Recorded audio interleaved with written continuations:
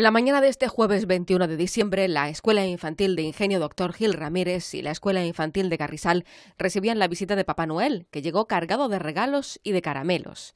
Además de la decoración de los centros, con sus chimeneas, guirnaldas y manualidades realizadas por los propios niños, se unía la llegada de Papá Noel, con alegría de algunos y sorpresa de otros.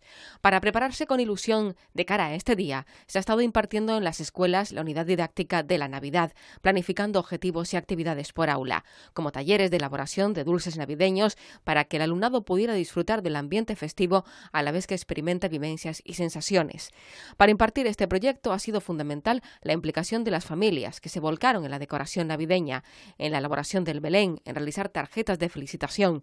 También ellos, los padres y madres, tendrán su pequeño obsequio, como por ejemplo muñequitos de nieve pintados con las huellas de los pies, entre otros, elaborados por los pequeños, contando con las educadoras.